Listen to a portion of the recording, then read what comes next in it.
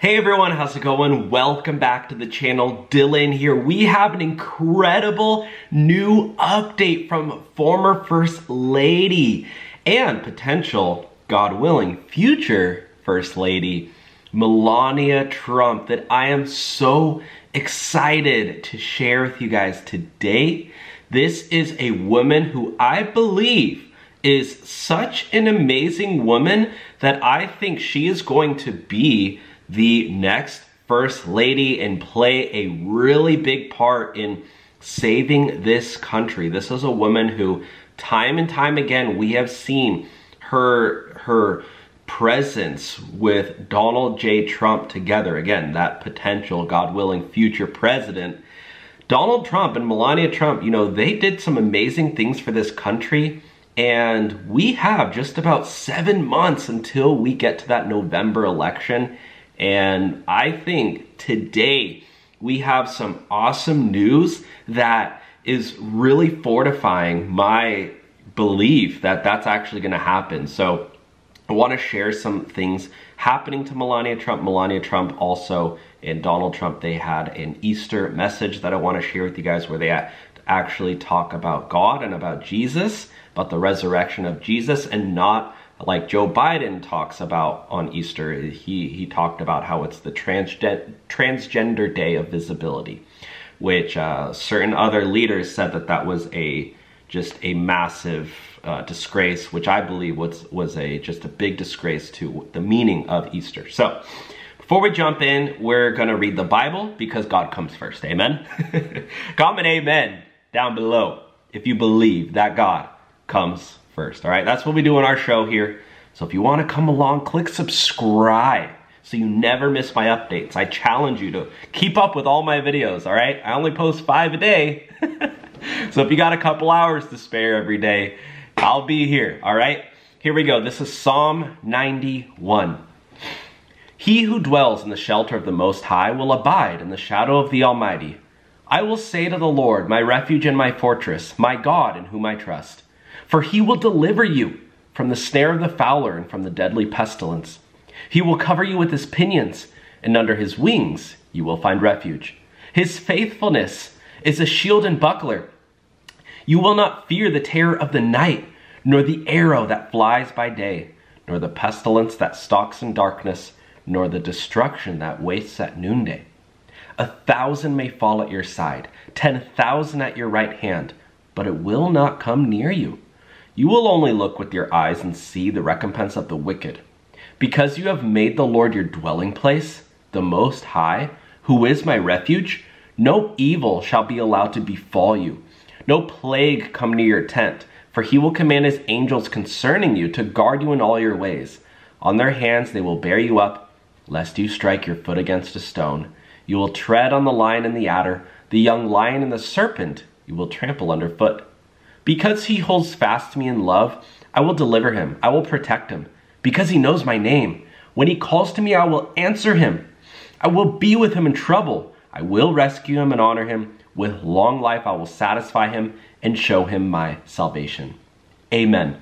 Comment amen down below. That's Psalm 91. That is a one of the most powerful, powerful Psalms in scripture. And when I say powerful, I mean that's relative to us because every single, you know, verse in the Bible is is powerful in its own merit. But for for somebody like me, I I like reading this one because it's a prayer of protection. We it, it allows us as humans to understand more about God's role in our lives, God's role in our country. And we see how many thorns has Donald Trump and Melania Trump had to go through on their journey to save this country, on their journey to carry out God's will.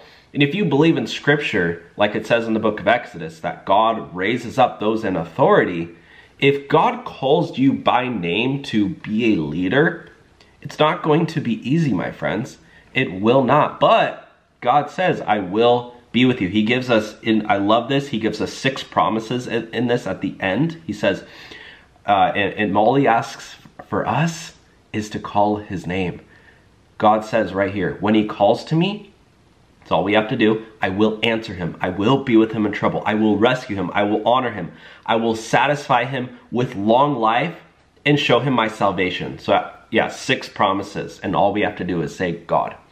How beautiful is that? So let's get started with this awesome update from Melania. All right, so firstly, I wanted to play this clip.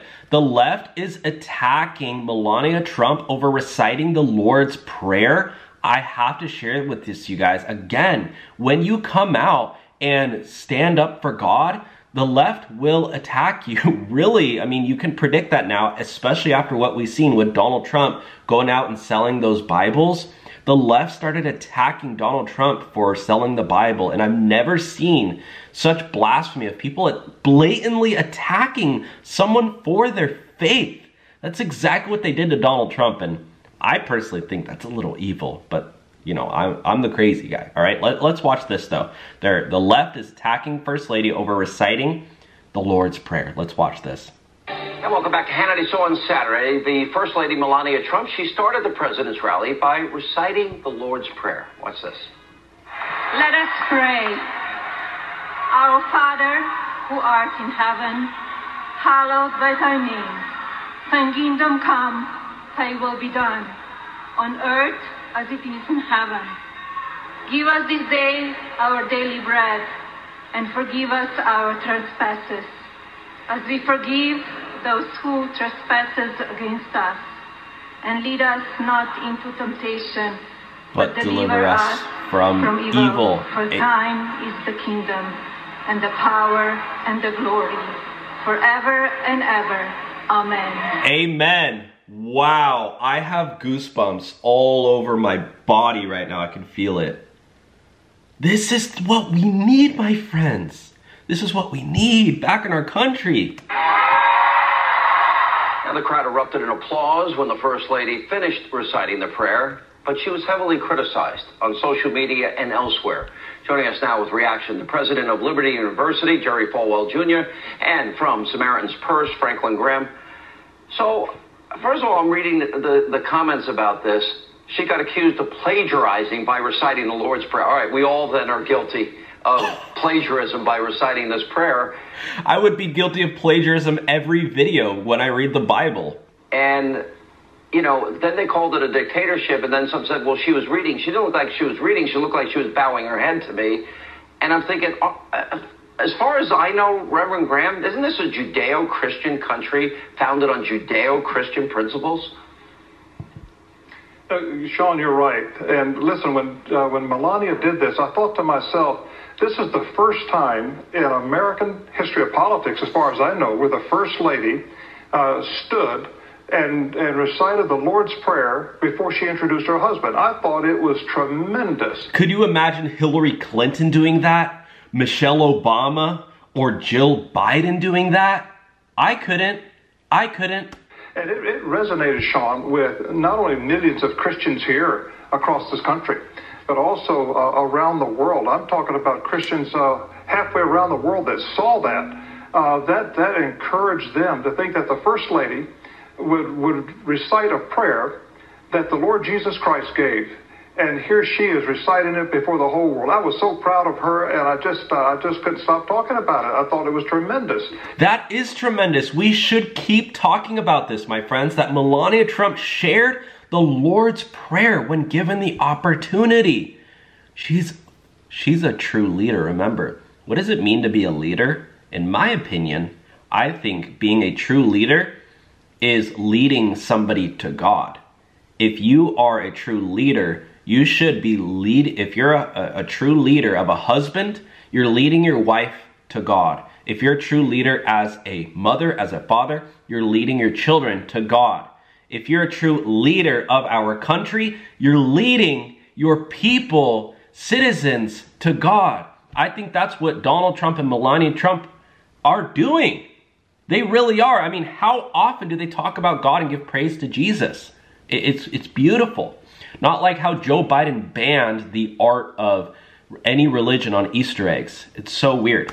And so um, I'm proud of her. I'm as proud as I can be of our First Lady. She's such a Look at that. person. Awesome. And of course, the left is going to attack. And Sean, they're going to do everything they can to try to beat up uh, our president and uh, his wife, the First Lady, his children.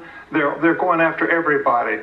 Could you imagine they're going after Melania for reading the Lord's Prayer? Oh my gosh, she read the Bible. They're literally go they're they're oh my gosh, she didn't have it memorized. She's reading it. She's reading the Bible. Oh my gosh.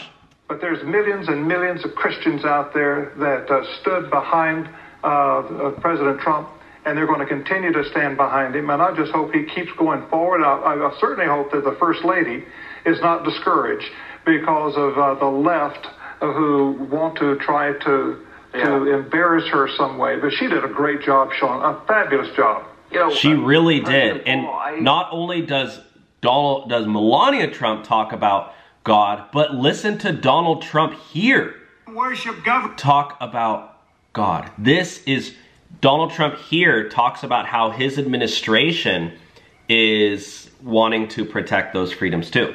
community. Let's listen in. And above all else, we know this. In America, we don't worship government, we worship God. He says, in America, we don't worship the government, we worship God. And this is why people support Trump, Melania Trump, and Donald John Trump. This is what America is about, my friends. Let, let's not forget that, okay?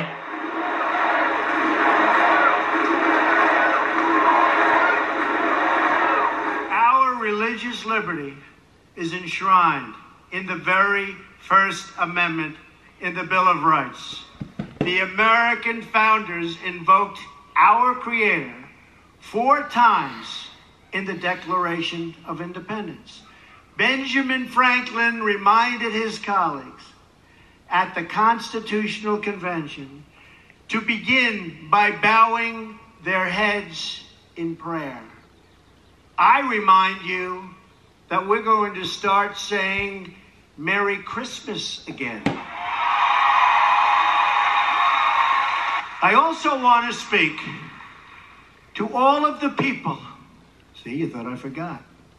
In our faith community who are here with us tonight, veterans and non veterans alike.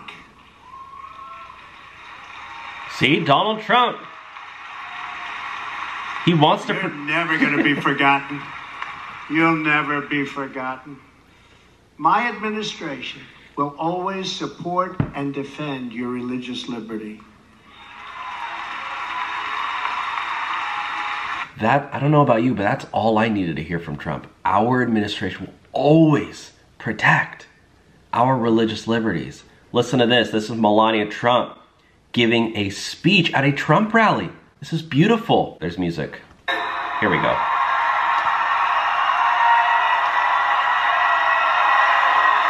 People love her. People really do. Thank you. People think that she's. Look at that smile. Come on.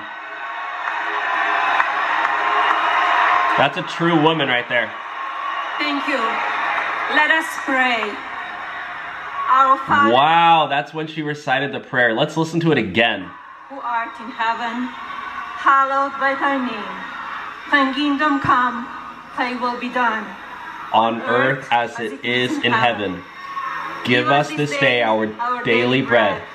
and forgive us our trespasses, as as we forgive- those who trespass against us. And lead us not into temptation, but deliver us from evil. For thine is the kingdom, And, and the and the power and the and the glory forever forever and ever. Amen. Amen. Look at the people in the back with their hands up. You cannot get any better than this, my friends. Good afternoon. It is my honor and great pleasure to stand here before you as the First Lady of the United States. When was this? This was seven years ago, guys. The But- America we envision is one that works for all Americans and where all Americans can work and succeed. A nation committed to a greater civility and unity between people from all sides of the political divide. I will always stay true to myself.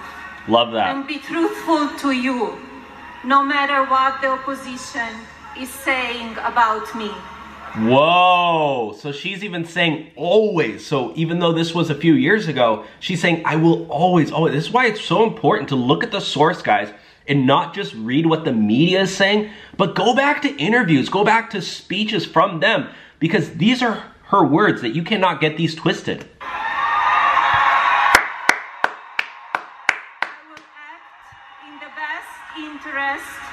Of all of you. I'm committed to creating and supporting initiatives dear to my heart, which will have impact on women and children all around the world. Yes. My husband is creating a country of great safety and prosperity. And you know, I don't like to get race involved, and I, I never like, I, I kind of hate how people talk about race so much, but Democrats always say, oh, Trump supporters, they, you know, they're just, they're just a bunch of hicks and, and, and old white people. Well, if you take a look at the crowd, that's one of the most diverse crowds I've seen in my life. Uh, that's all I'm gonna say.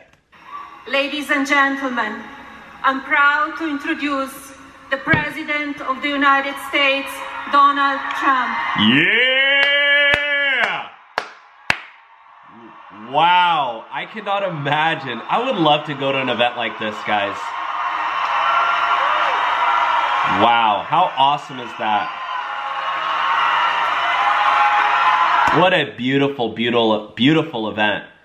Wow, just so, so awesome. And really quickly, I wanted to dive in and look at Donald Trump and Melania Trump as newlyweds.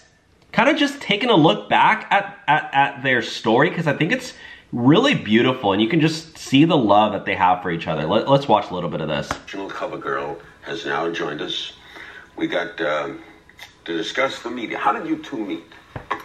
Uh, we met in New York, um, 1998. It was a fashion week, September 1998. The famous fashion week. The famous fashion week. Before New York went full liberal crazy when Letitia James and Judge Engoron came in and tried to take Letitia James, oh, I'm going to tr- get Trumpism out of New York. New York was where Melania Trump and Donald Trump met. I mean, New York used to be an amazing place. I used to go there quite a bit. Were introduced? Well, no, we were both at the same party, and uh, that's how we met. He Like her right me. away? I went crazy. I said, I was actually supposed to meet somebody else. And there was this great supermodel sitting next to Melania. And I was supposed to meet the supermodel. And they were saying, look, there's so and so. I said, forget about her. Who's the one on the left?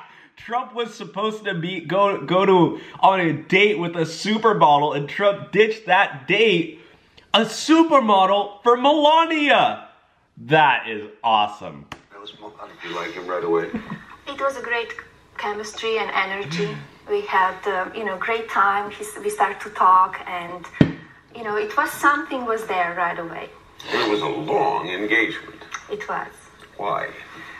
Well, You got to make sure. You got to make sure. You got to make sure that God's in there, and God, you know, you got to make sure it's gonna last forever. And it, it, it is lasting forever. Uh, you know, we just had a great time, and we didn't worry about it, and you know, just live lives. And then one day, surprise. Melania Trump is is the most beautiful first lady we've ever had, and it's almost it, it, it's kind of making a little bit more sense to me as I'm going back and watching these videos because I understand now that the left, I mean, if if you're a, a, a party, a, a political party, and your major person is Michelle Obama, I would be jealous too of Melania. How did the proposal take place?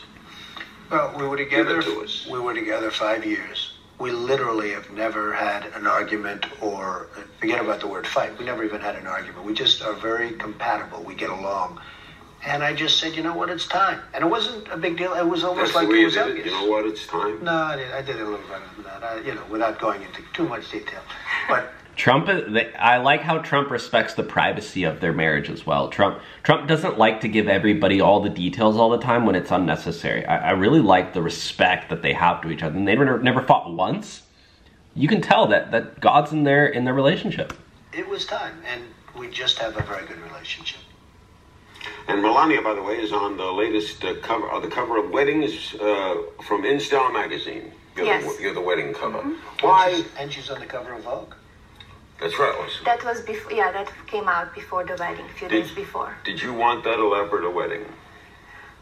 She deserves it. She deserves that elaborate wedding. That- I mean, it, it's quite, really quite beautiful. Uh, I wanted to share this too. This this just happened uh, this past weekend. Donald and Melania Trump uh, celebrated Alina Habba's 40th birthday. So I wanted to share this because the mainstream media is painting a picture that Mel- that uh, Melania Trump, Donald Trump, Alina Habba. This is Trump's top lawyer, by the way, who's kind of battling Letitia James, Judge Engoron, and she's even really defending Trump in the case with uh, Fani Willis, uh, E. Jean Carroll. I mean, she's she's just really there for Donald Trump, and the media likes to say, you know, oh, they're so they're you know they're falling apart, blah, they can't afford the bond. Trump just posted the 175 million dollar bond yesterday, by the way. But I mean, look how awesome of an event this is. This is Laura Trump, Kimberly Guilfoyle, Alina Habba. They look stunning. They're glowing. They're at Mar-a-Lago. This is uh, brother and sister Eric Trump, Laura Trump. There and um, wait, are they married or are they brother and sister? I'm sorry. I'm having a mind blank really quick. Uh, this is Donald Trump, Eric Trump, and um, Donald Trump Jr., obviously. But look at this event. This is an awesome event where everybody's happy. They're holding up Alina. Alina Habba's 40th birthday. Happy birthday. I mean, they're really doing a stellar job. And I love to see Melania Trump hanging out, Donald Trump, Melania Trump, and uh, just the whole family together, right? You can see them. They're all, all here together. They just look happy, and I love it. And even though uh, Melania Trump is in this whole mess with Donald Trump and especially with E. Jean Carroll, you know, all these wild allegations against Donald Trump. Well, what does Melania Trump think about these women? I mean, because this is nothing new. Let, what does she think about this? I know you want your voice to be heard on this. So a number of women have come forward. They've made allegations against your husband. Some of them go back more than 30 years. He has said they're lying. Do you believe him? I believe my husband. I believe my husband. This was all organized from the opposition. And Melania Trump, she's very in tune with what's taking place. I, I think she knows a lot. and um, with the details that they go, did they ever did they ever check the background of these women? Uh, they don't have any facts, and um, even the story that came out in People magazine, the writer that she said that my husband took her to the room and started kissing her. She wrote in the same story about me that she saw me on Fifth Avenue and I said to her, Natasha, how can I, we don't see you anymore? I was never friend with her. Oh my gosh, so there was a lie. It was a lie. I would not recognize her. That never happened. Never happened. That's why I sent them the letter because it discredited the story. Right? You, She- your, your lawyer has sent a letter to This is the truth, my friends. The truth is coming out from Melania herself. No wonder why their marriage is so strong, even with all this stuff going on. Because Melania's like, they literally lied. Like, I never even met that woman. And yet she said that, oh, I saw her on Fifth Avenue in New York. Melania's like, I don't even know this woman. to People magazine saying they have to retract. Yes, because it was not true. Crazy. So how we could how we could believe her? That never happened. I was never friend with her. I saw her. She interviewed us twice. She came to the wedding, and for that story, that's it. I would not recognize her on the on the street or ask her why we don't see her anymore. So that was another thing. Like you know, people come out saying lies and not true stuff. Has this Crazy, absolutely crazy. But we need to protect Melania Trump. We need to protect her. She's doing a, a fantastic job. And, and just take a look at this. Take a look at how prayerful and how spiritual she is. This is First Lady Melania Trump's National Day of Prayer message. This is, you know, when you're a uh, First Lady, you get the honor of being able to do these and, and kind of, you know, create these videos that get ultimately posted to the to the White House, Trump White House archived uh, YouTube channel. I mean, this is this is pretty awesome. Uh, let's take a listen to her. She's talking about the importance of prayer. I think this is very true even today. Let's listen in. On this year's National Day of Prayer, we are confronted with the challenges of an invisible enemy, one that can only be defeated through unity and our nation's strength, love, and devotion to each other. All through history, Americans have unified in challenging moments and during our greatest times of need. We always turn to prayer. We do. Prayer is most important. Today, I want to ask all of you to unite and pray to protect and give strength to those who serving. How beautiful. Melania Trump really knows the power the power of prayer. With friends to share some laughter. Our dear citizens, through prayer and faith, we will get through this together. I am so proud of the way all of you have responded to this crisis. When we reach out to our Lord, let us remember I can do everything through Him who gives me strength. God bless you all, and God bless the United States of America. Amen. Amen. I love that. That's a beautiful, beautiful Bible reading. And this is a this is Donald Trump's. So you saw um you saw uh, Joe Biden's, you know, Easter celebration and what he did on Easter. I mean, he, you know, called it the transgender day of uh, visibility.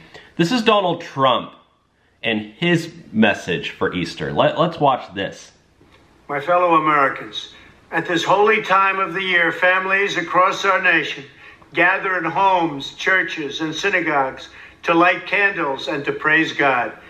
During the sacred holiday of Passover, Jewish families around the world give thanks to God for liberating the Jewish people from bondage in Egypt and delivering them to the promised land of Israel.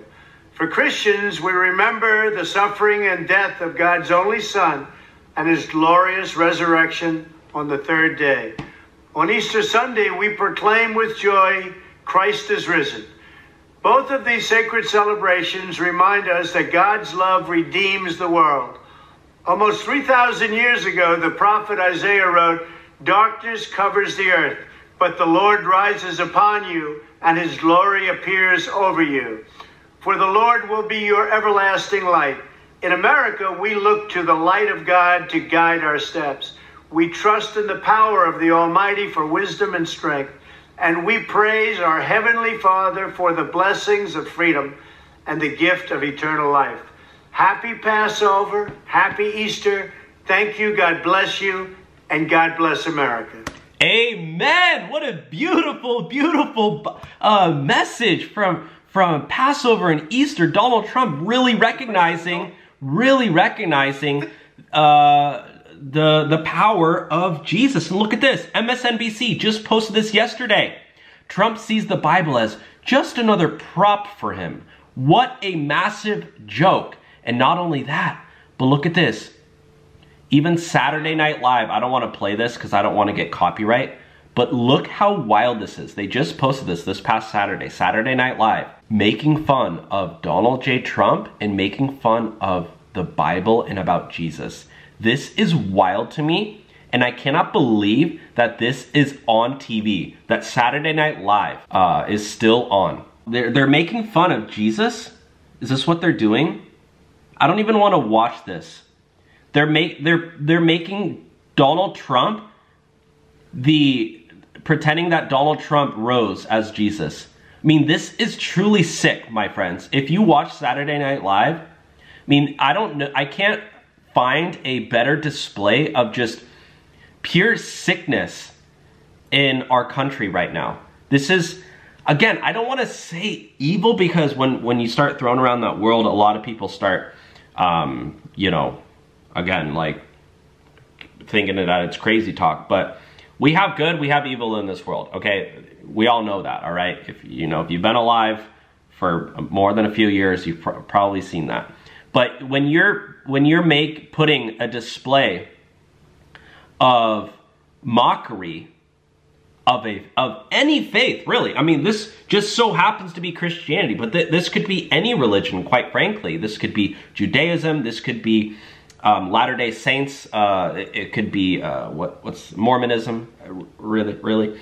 Um, it could be uh, a Muslim. I, I don't care what what religion you are. You do not do this. You do not do this, and, and it's so wild because you take a look at this man who's running for president and you're putting Trump in a basket. Like, guys, if you are not realizing what's really taking place in our country right now, I mean, this is wild.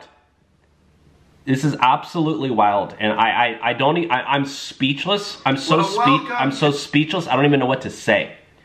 And MSNBC, they have the audacity to also do this. Trump sees the Bible as just another prop for him. Could you imagine? I mean, because you're Democrat and because you can make fun of Christianity, it, it's all it's all fine. What if you made fun of the Quran? I mean, if what if what if uh, Donald Trump or or I don't even want to use I don't even want to like feed into that, but what if a uh, what if a Republican lead news show? What if Fox News? Let's let's just use Fox News for example. What if Fox News and uh, Sean Hannity or, or um, you know Laura Ingraham or whoever were was saying that the Quran is just another prop for I don't I don't know what for I know Biden doesn't believe in the in the Quran, but I mean it, it's just I'm trying to say this is a wild double standard here that it's okay for the left. I mean it's, it's definitely not okay, but it, it's but people see this and they say, "Oh yeah, you know, it's all it's all fine. You know, Trump selling God Bless the USA Bibles for fifty nine ninety nine. It's just another Donald Trump's just using religion." No, he's not. He's not doing that at all. It, it's sickening to me, and I don't. I'm really like beyond words, honestly. Uh, this is Donald Trump talking about his wife. Um, wanted to play a little bit of this. This was from their Easter um, celebration the the Melania Trump, this was just this past Sunday. Melania Trump, Barron Trump, Donald Trump together, looking absolutely fantastic. And celebrating Jesus. I believe that was Doug Burgum actually there. But this is Donald Trump. They're playing music, which is why I can't play the actual sound, but it, it looks really beautiful. This is the Easter celebration at Mar-a-Lago where they're all together dancing. Trump's dancing, Barron Trump there, there's Melania. It just looked like a really awesome time. They're out there, they're celebrating, and they're celebrating Jesus, really. That's what they're doing. And they all look great together. So God bless them. God bless America. Donald Trump and Melania Trump um, they, uh, you know, they're they're doing really good. This is uh, Melania is about to be a huge help to Donald Trump. Melania Trump just hinted she'll soon rejoin Donald Trump on the campaign trail. Stay tuned. I guess she was asked. There's actually a, a clip of her being asked.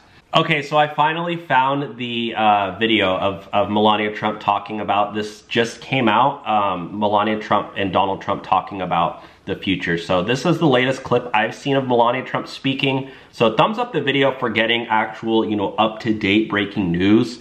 I know I do like to show older clips as well just to tie everything together, but this is the latest clip I, I found of her actually speaking about the campaign. Let's watch this. I think it's a shame. I think it's a disgrace. It's a disgrace to our nation what they did to him. Trump, are you going to return to the campaign trail with your husband? Stay tuned. She says, stay tuned. Melania Trump, simple words. All she says in response to, are you joining your husband on the campaign trail soon? She says, stay tuned. So, really awesome news from Melania Trump, Donald Trump. Let me know your thoughts down below. And remember to keep praying, my friends. Keep praying. Prayer is powerful. We'll talk to you soon.